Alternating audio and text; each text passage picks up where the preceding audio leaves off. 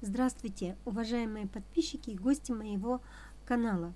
В этом видео я хочу рассказать о некоторых особенностях выращивания кабачков. Э, ну, начну сначала с того, что кабачок у нас из Северной Мексики, а в Европу он попал только в 16 веке. Что интересно, в Северной Мексике их в пищу употребляли у кабачков только семена. И только когда кабачок попал в Европу, итальянцы распробовали, что это за овощ, стали употреблять его в недозрелом виде. Кабачки мы сажаем ежегодно. Ценится кабачок за диетическое, как диетический продукт, он очень полезен для человеческого организма. Что хочу сказать самое главное о выращивании кабачков. С кабачками можно пролететь с сортом. Например, мне всегда нравился грибовский, наш родной отечественный сорт. Но сейчас погода вносит такие коррективы, что в такую холодную погоду у Грибовского просто не завяжутся завязи, потому что нет опылителей.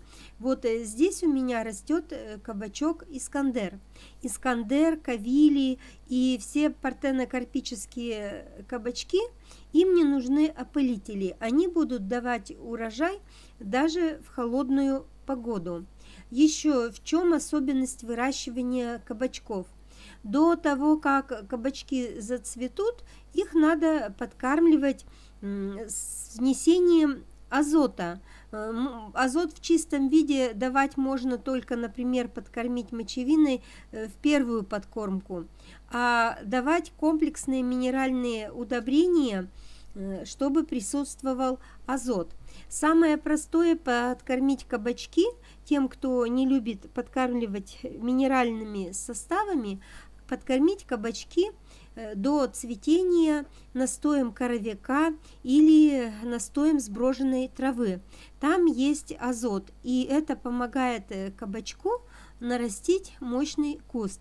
А дальше уже после цветения кабачку нужны Э, калийно-фосфорное удобрение. Здесь можно обойтись древесной золой или подкармливать комплексными минеральными удобрениями, такими как, э, например, э, калийными монофосфат калия, можно подкармливать суперфосфатом.